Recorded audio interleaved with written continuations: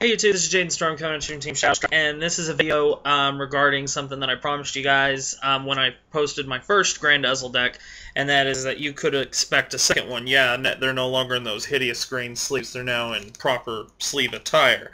So anyway, this is my second build of it, and I haven't gotten to playtest it with it yet. I was I did some, excuse me, with playtesting with the first build, and it just it, it, it was good. It just didn't feel right. Like, um, I do a lot of playtesting with a lot of decks and change so many things. I don't put up all my deck profiles here for you guys when I change one or two cards because it would literally take up so much space and truly not everyone probably cares when you make that small of a change. Um, you know, but I'm really, really picky. I continue to tinker with my deck until I get it just where I want it. And this is... Um, I think uh, getting pretty close to where I envisioned this deck would be, so here I'll go ahead and get into this and I'll explain uh, my choices. So this is no longer the superior ride build, so I'm using Scarlet Witch, Scarlet, Scarlet Witch, Scarlet Lion Cub Karia. Um, so, you know, her ability is pretty cool.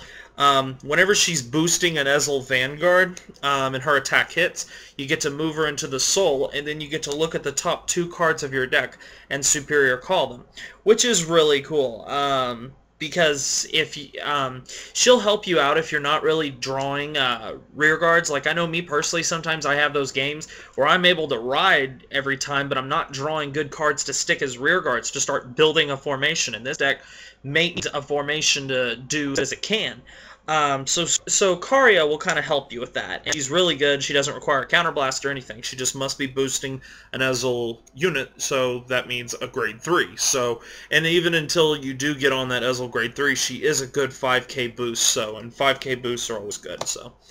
Now for the triggers, I, that didn't change at all. I'm still playing the 4 Flame of Victory, the 2 Daunticle, and the 2 Silent Punisher for the total of 8 critical triggers. Um, the draw triggers are still the same, the cool little puppy speeder hound. And then for the most adorable heal trigger in Gold Paladin and in history, probably, uh, Napgal Liberator. So, uh, 8 for draw, 4 heal. Pretty standard. Great ones.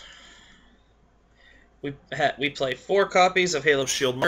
I thought about the wall. I decided against it. Um, you're you are welcome to try a quintet wall. Um, this deck revolves around calling cards out of the deck, um, and you're going to be calling cards, you're going to be soul charging cards. I don't think it's good to combine superior calling, soul charging, and milling in the same deck. Because when you use a quintet wall, you're essentially milling five cards. Um, I don't think it's good to mix all three of those in the same deck. Um, I mean, you're welcome to try a quintet wall. I would not recommend any one. I, might even one day when I'm at my locals just throw one in there, but it's it probably is just going to stick at four Halo Shield mark. Um, and for the rest of the grade ones, we're playing. I'm still playing four copies of Sacred Twin Beast White Lion. This card is a no-brainer. Um, it is literally one of the best cards that Ezel has now. Um, he is basically a better version of the Self-Damager that fits Ezel. Um, whenever you have an Ezel Vanguard and this unit is called to the rear guard, right? Yeah, when this unit is called to the rear guard you have an Ezel Vanguard, you counterblast one, you make sure I got this right. You soul charge one, then you take one damage. You have to make sure that that is put in the right order. You soul charge first and then take the damage. This um, gives you um, it does two things for you. It soul charges one, which fu which fuels um, your Grand Ezel for your soul charge, and it also helps you put cards back in the deck. So say you have that heal trigger in the damage zone that you want to put back in the deck. You can flip it face down to pay for his cost and then put it back in the deck. Um, and then after his ability's been used, what's so good about him is he is still a good solid 7k uh, boost. Um, you know, it, it, you know, he does, he's so much better, like the, the, the first Gold Paladin self-damager was uh, Disciple of Pain, or Master of Pain, it was one of the two. And, um, he was only a 6K. And I even considered playing a couple of him, but, you know, I, he is just the better option, and if you play for him, that's all you really need.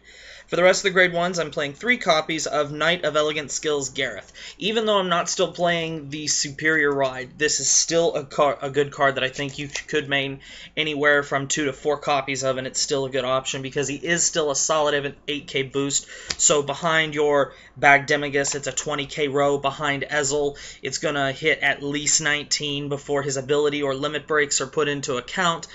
Um, so it is so, so good. For the rest of my grade ones is I'm playing two copies of Listener of Truth, Truth Dindrane. Um, I would play three of this, but I only have two right now, so I'm also teching one Sleygal Dagger just because this was a card that I loved playing back in the day. Um, but when I get one more Listener of Truth Dindrane, I'll be playing three Dindrane. Now, here's the reason I'm playing Dindrane. You are calling off the top of the deck in this deck quite frequently. Um, you don't want to play Silverfang Witch, which is the Soul Blast 2 draw 1. Here's why. To Soul Blast 2, that's basically taking away one chance that you get to use Ezel. Her, if you combine her with this, it pretty much evens it out. So, and and realistically, playing only playing even three of her, you might get one off in a game, maybe two if you're really lucky. Um, but she's there, so when she is called, it's a free plus for me. Um, and I think it's a smart call. Um, so I'm pretty sure there's more of her in our book at our locals, and if so, I'm um, when I get there Saturday, I'm going to pick her up. Um, but um, uh, I just love. Uh, I've always loved Listener to Truth Dindrane, so it was a no-brainer for me, and uh, I think it, she's going to work out great. For grade twos, and a lot of changes in the grade 2 lineup as well. I'm playing still the four copies of Knight of Passion Bagdemagus, one of the coolest looking 12k attackers that there is. He has one of the coolest looking swords, and if anybody knows where I can get that exact coat, let me know, because that coat is badass.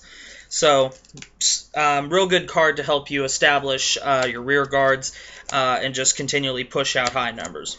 Get a Gareth behind him, like I said, it's a 20k row. That's really nothing to sneeze at.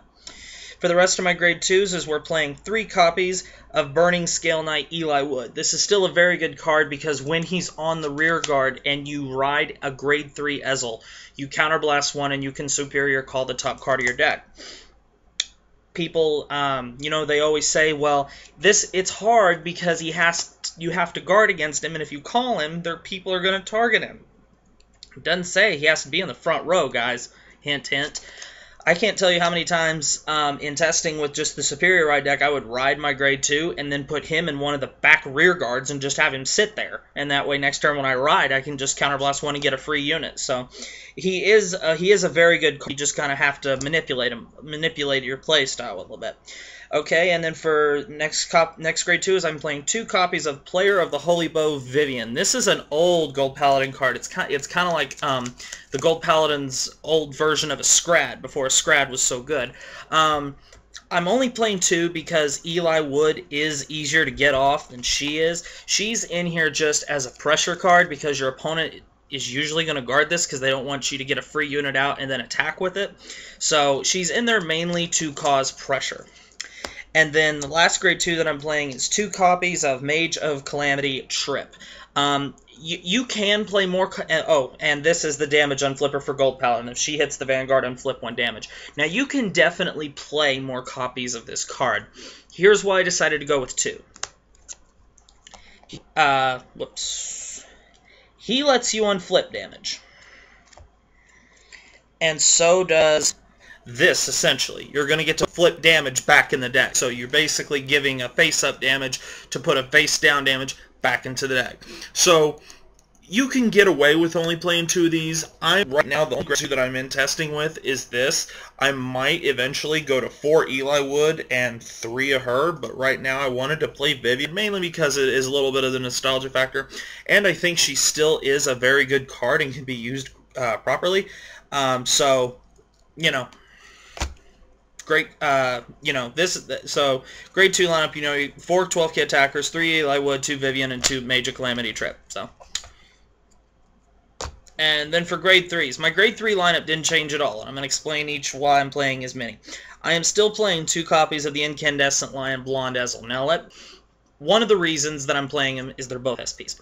But also, say another, it's one of these games that you are just not getting a field that you are just not getting rear guards to attack with. You're not getting boosters. You can use this to help you out. Yeah, you're taking a gamble, but when you really don't have anything, that's it's better than doing nothing.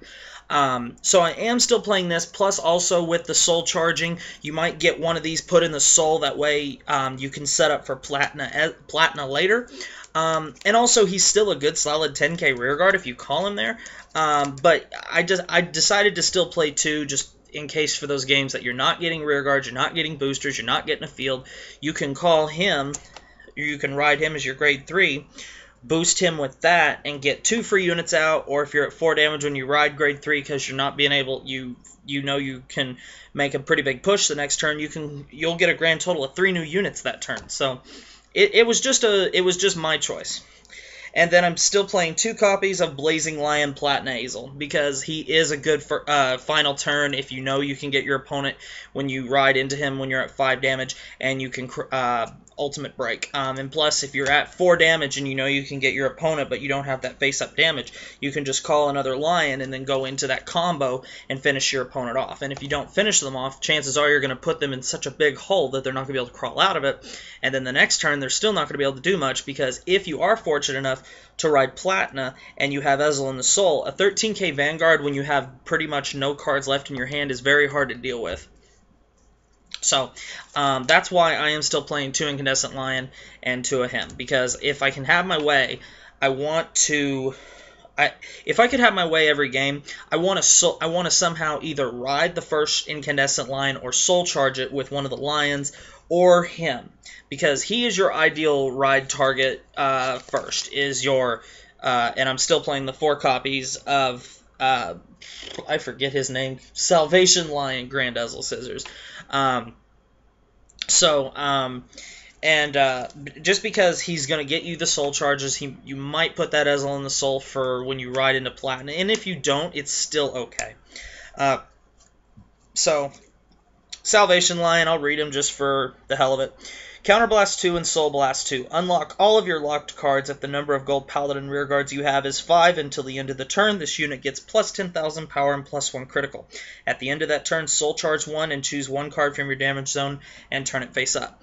Now, um, I'm pretty sure everyone knows this, but I'm going to say it just, just to clarify if there is someone here that hasn't seen it. You do not have to have a locked unit in order to use his skill. There are two different abilities that kick off when you pay the cost of the Counterblast 2 Soul Blast So you can use this even if you don't have any locked units. So you don't have to be playing against Link Joker to have this guy be a threat. I mean, plus 10k and a crit is nothing to is nothing to frown at, guys. I mean, plus 10k and a crit, that's a pretty good boost. And then his second ability has uh, the classic Ezel skill, where um, every turn he's going to be at 16k if you have a full field, and then if you boost him, he's going to be in the 20s.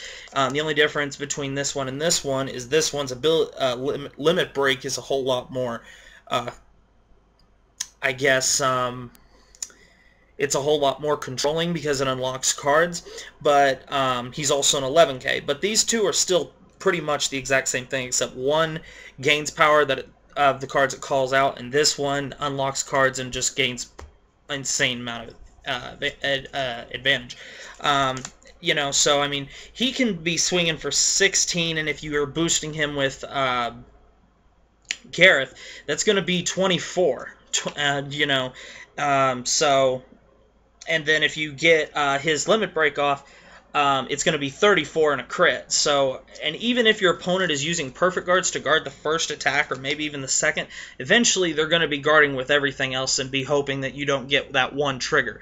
So, Grand Ezel, in my opinion, um, he's also unfairly uh, um, severely undervalued in my opinion. I think this card is amazing, and I think a whole lot of people are not giving Grand Ezel the respect he deserves. Um, so, uh, do not take my advice and do not snooze just because you, um, you're facing you're uh, facing this guy and you think he's not that good. Because if he's in the hands of the right player, um, and you come across someone who knows how to abuse Ezel decks, he's pretty good. So anyway, guys, I hope you enjoyed this. I hope um, I, I, probably did a little more explaining than I did um, in my first one because, with all honesty, if you play the the superior ride build, there's really not a whole lot to explain. Um, I decided to go for I decided to put more of a spin off of it uh, in this one. So in the comment section below, tell me which one do you think's better? Do you think the superior ride's better because it provides that safe gauge, or think this is safer? I think this is safe.